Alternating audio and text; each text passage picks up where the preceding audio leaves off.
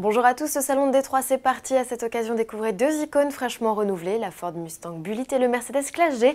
On parle également de la Lexus LF1 Limitless et de l'Infiniti Q Inspiration.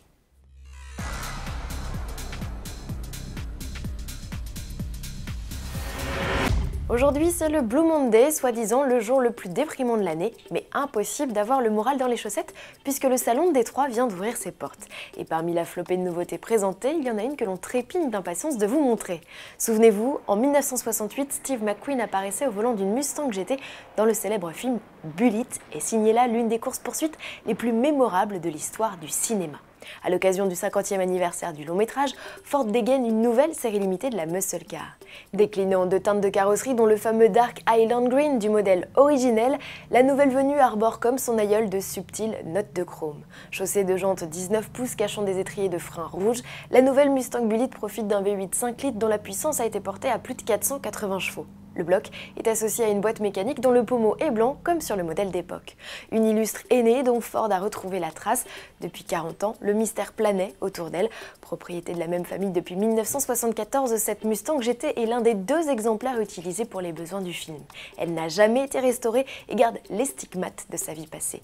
Conviée par Ford, Molly McQueen a été particulièrement émue de s'asseoir au volant et démarrer le modèle piloté en son temps par son grand-père. Autre mythe de l'automobile, le Classe G, Mercedes a présenté officiellement son nouveau baroudeur au public du Salon de Détroit. Esthétiquement, la nouveauté ne saute pas aux yeux.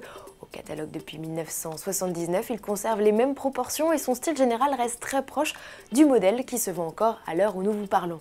À quoi repérer qu'il s'agit d'un G de deuxième génération, à sa signature lumineuse à LED et à son habitacle modernisé.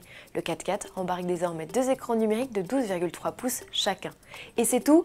Non, mais pour le reste, ça ne se voit pas, tout se passe au niveau de la structure. Mercedes a utilisé de nouveaux aciers et travaillé avec de l'aluminium. Résultat, l'engin a perdu quelques 170 kg sur la balance. Si le Classe G repose toujours sur un châssis échelle et reçoit un pont rigide à l'arrière, à l'avant, il hérite d'une inédite suspension indépendante à double bras transversal, de quoi garantir un meilleur confort selon le constructeur. Il n'en reste pas moins un vrai baroudeur avec un angle d'attaque et une garde au sol améliorée. Les trois blocages de différentiel à 100% et la boîte courte, en complément de la classique transmission à 9 rapports, restent bien évidemment de la partie. Et sous le capot, on se contente pour l'heure du V8 4 litres biturbo de 422 chevaux en attendant l'arrivée des variantes diesel et surtout AMG. Le lancement du nouveau Mercedes Classe G est prévu en mai sans évolution de tarif, semblerait-il, à suivre. Pour finir, et parce qu'il ne nous reste plus beaucoup de temps, voici deux concepts que vous découvrirez dans quelques instants sur autoplus.fr. Il s'agit du Lexus LF1 Limitless. Le concept de crossover haut de gamme aperçu à travers quelques images et vidéos de teaser en montre davantage dans un nouveau clip.